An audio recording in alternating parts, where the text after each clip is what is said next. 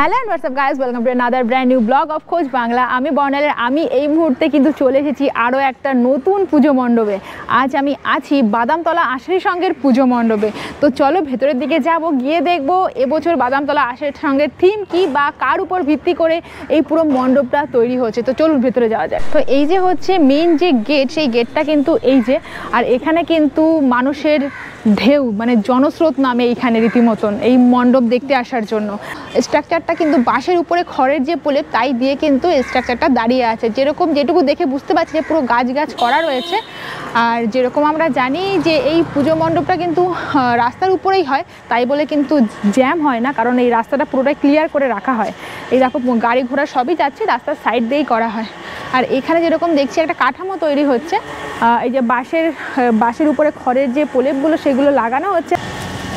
দেড় মাস। আচ্ছা আর আপনারা কবে থেকে মানে ক- কোথা থেকে এসছেন কোথা থেকে? আমরা কেউ কল্যাণী থেকে কেউ সুন্দরবন থেকে। মানে এখানে কি প্রতিবার কাজ করা হয় নাকি?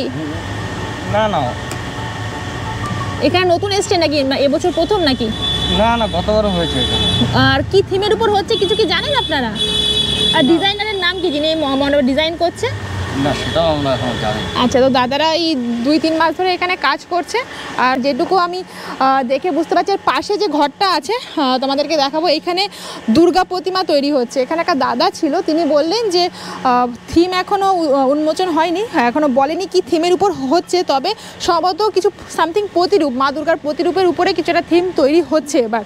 আর ভেতরে যেখানে দুর্গা প্রতিমা তৈরি হচ্ছে সেখানে ঢুকতে দেবে না বলেছে সেটা আটকানো রয়েছে সেই ঘরটা।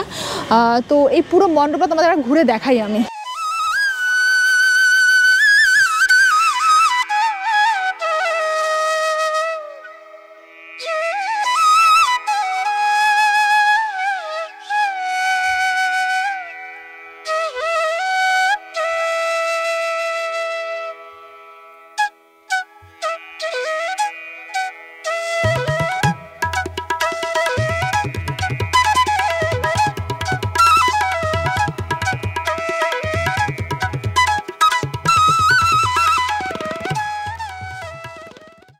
বন্ধুরা, এই বাদামতলা আষাঢ়ি সঙ্গের পুজো মণ্ডপটা কেমন লেগেছে অবশ্যই কিন্তু কমেন্ট করে জানাবে।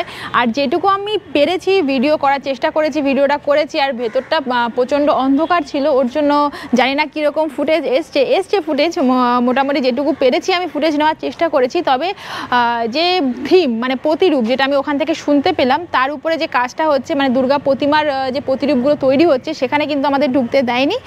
তো খুব শিগগিরই চেষ্টা করব ভেতরে গিয়ে দুর্গা প্রতিমার যে প্রতিরূপের যে ভি- মানে মূর্তিগুলো তৈরি হয়েছে, সেগুলোর ভিডিও তোমাদের সামনে তুলে ধরার।